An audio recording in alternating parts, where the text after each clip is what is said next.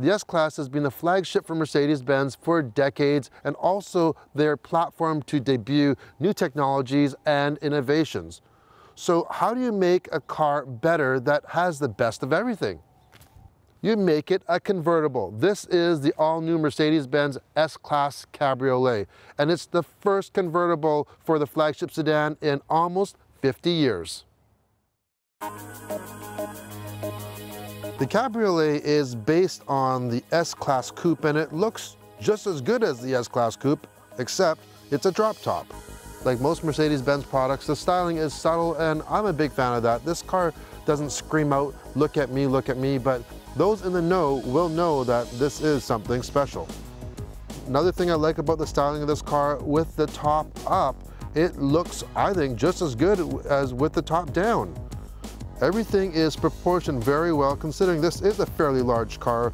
The 19-inch wheels really fill the fenders up very nicely and on a lot of modern cars, the lighting is a highlight. Well, how about this taking it to the next level? Instead of just standard LED daytime running lights, this has the Swarovski crystal package. So what you're seeing here are 94 Swarovski crystals. Cost? Only $4,000. The back has an easy open trunk. You just kick your foot under, there it goes, opens up. As you can see, I have a, a knapsack here and a couple other things. Uh, ample amount of room for anything you'd have, like groceries and things like this. You could probably do a Costco run in there, no problem. Width-wise, I'd say it'd be a tight squeeze for some golf clubs, but really, you got those back seats, so I'd probably put them in there instead of trying to wiggle them in here. The interior of the regular S-Class is quite spectacular and that's no different with this S-Class Cabriolet. I don't really even know where to start. Let's start by what's staring you right in the eye are two 12.3 inch screens, one as an instrument panel, the other as your infotainment, and uh, easy to use. They, they're operated with this command center in the center. Uh, you have almost like a, a mouse with a trackpad. You can use that or a dial, and you can configure this however you want. You got the radio there, and we can mute that. We can go into navigation and show the entire uh, screen, a lot of real estate. And in the center, you have your, your tach and your speedometer, of course, and you can cycle through different things from your trip, your Navi, your radio, your media, whatever you would like. Uh, now, one thing though, I kind of wish though, I'm a fan of the screens, but I'm not really kind of a fan of the styling of them or lack of. the. They're really easy to use. They're very clear. The graphics are amazing. I kind of would like to see more of a shape to them, maybe, or at least uh, contour some shapes around them so they don't look so square. Because the rest of the cockpit has beautiful curves to it. Just follow the stitching along and then you can see the wood and has this all these gorgeous curves and this leather interior. And then below you have your, your air vents, very classy looking. Below that, you have, that's right, you have an ashtray. I guess smoking is still not dead in some markets. And then below you have your cup holders. This flips forward uh, to hide that. You can have a nice compartment for your phone. One really great thing about buying the Cabriolet is that it's almost fully loaded as is. There's only a few options. One of them is the Swarovski crystal headlights that we showed you, and another option is night vision. You can press the button here and you have uh, night vision, great for seeing wild animals, maybe if you're on country roads, or seeing people that are, are darkly dressed and you can see them through your center screen there. Along with that, standard comes a great heads-up display, one of the better ones that I've seen, very clear.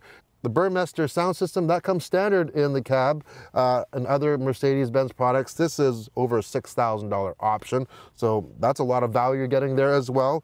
And then you get to the seats. Now, that's where it's really special. Beautiful leather seats, of course, like I wish my, my couch at home felt this comfortable. Uh, you have a billion different ways, I'm exaggerating, but there's a lot of adjustments you can make on it and a, a really nice uh, adjustable headrest, padded very nicely. And of course it has memory. Then you have heat, heated seats front and back, cooled seats in the front only, uh, then you have a massage feature in the front. You can choose from all different massages for passenger and the driver And actually they work pretty good. I wish they actually had an option though to massage your bottom. I, I know some other cars had it and that really kind of is useful for some people for long distance drives just to get the blood going. And this has active side bolsters, meaning when you're cornering, the side bolsters will come in on the side you're leaning on and when you're finished the corner it releases so it gives you optimum support but it doesn't really grab you all the time, which is great, especially for people that don't like to be constricted. I mentioned the heated seats. I should mention this does come with a power tilt and telescopic steering wheel and heated as well. Uh, should mention though that the heat is on the leather and it takes a while and it can get still be kind of cool on the wood surface on the top. But I got a feeling that most people buying this S-Class cab, they're really not really driving it in the wintertime so much. So not a huge issue, but heat. When you turn your seat heat on, you also have an option in the menu. You can heat your arm surfaces. I love it. So what does that mean? Seat gets nice and toasty and this center console, it'll heat up and the armrest on the door panel. How cool is that? It doesn't seem like a big deal, but once you've had it, I'm gonna have a hard time going back to my own car without it, that's for sure. Since the cab is based on the S-Class Coupe, well, most coupes don't have a lot of room for the passengers in the back, and this one, same, it doesn't. Uh, unless you move the seat fairly far forward, say for the passenger, there's not a lot of legroom back there, and that's gonna be an issue if you're a taller driver for the person behind you. And just in case you need to install a couple of car seats in the back there, uh, they're very easy to install with the ISOFIX attachments right underneath the leather flap and uh, the kids do love the open air driving, that's for sure. All right, it's time to drive. Just to let you know, it's pretty cold out right now. It's been raining for a better part of the week here, but uh, I got the top down and I've got the, the seat heaters on with the armrest as well. The steering wheel heat is on, but one other thing, right beside that button of the heated seats is the air scarf. What that is, is behind me and the passenger seat, there is a fan and it blows hot air onto your neck, hence the name air scarf. If you really want to shelter yourself from the wind if it's a little bit too windy for you, there is a button in the middle console. We're going to press that. See behind me now, a screen goes up, and in the front, a little spoiler pops up from the windshield and that's called the air cap. And what it does is it, it directs the airflow right over the cabin and between that and the windows all the way up and all this heated everything you could really drive this thing any time of year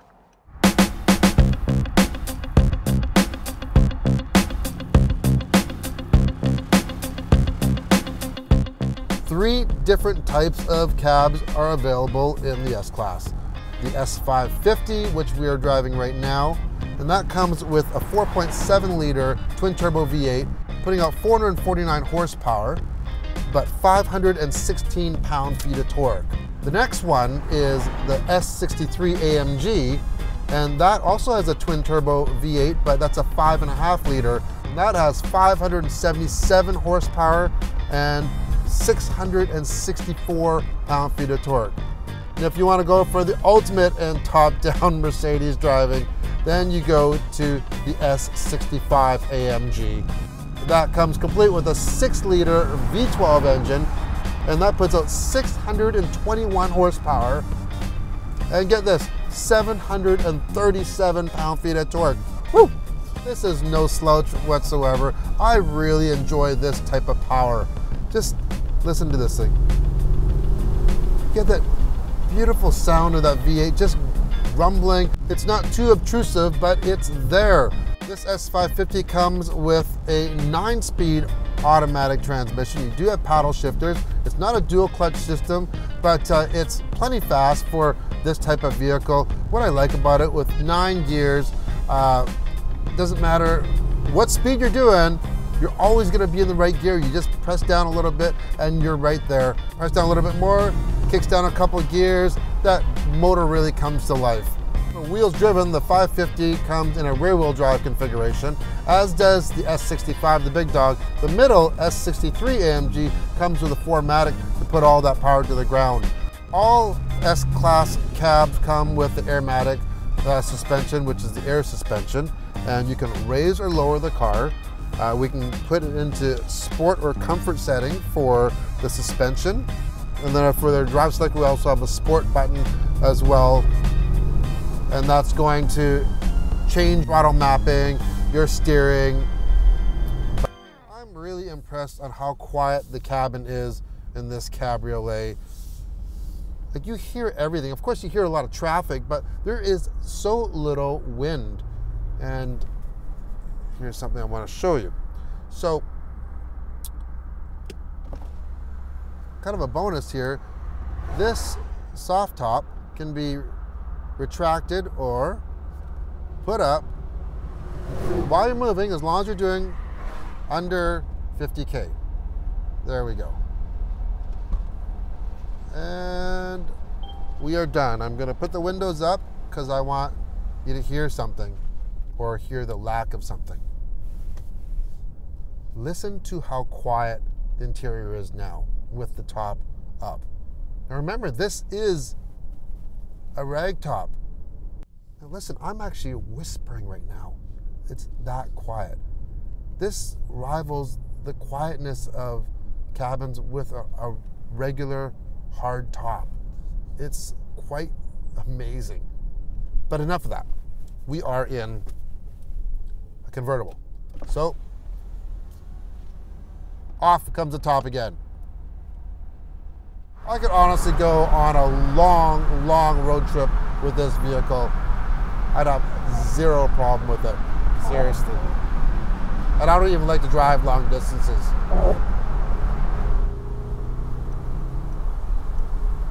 One thing I could really get used to in this car, these active side bolsters, they're awesome. This S-Class also has a ton of technology, including Distronic Plus with steering assist. We can activate it right now. So that's a radar-based cruise control with cameras. And uh, so it's gonna brake for us or accelerate for us. But it has steering assist as well, hands off the wheel. And you can see that it is keeping us in the lane and steering for us. Now, it's not gonna do that for a long period of time. It's telling me to put my hands back on the wheel. But the bonus of this system is if you're in stop and go traffic, say under 30 kilometers an hour, it'll do it pretty well indefinitely. And in the Vancouver area, that's a huge thing because we have a lot of traffic. This S-Class cab is everything that I love in a vehicle. I love that luxurious high horsepower it gets you up to speed so quick, yet it's so refined and silky. The interior, it's modern and luxurious, and it just really pampers you. And the quietness just will blow your mind. You know, over the week while I was driving it, I was in traffic, in the rain, on open roads, top up, top down. Didn't matter. Whenever I was driving this, it really put me into a special place. And I'll call that my happy place. So if I had 170 grand to spend on a car, this would be it. If you like the video, hit the thumbs up, and if you want to see more everyday reviews, hit the subscribe button. Thanks for watching.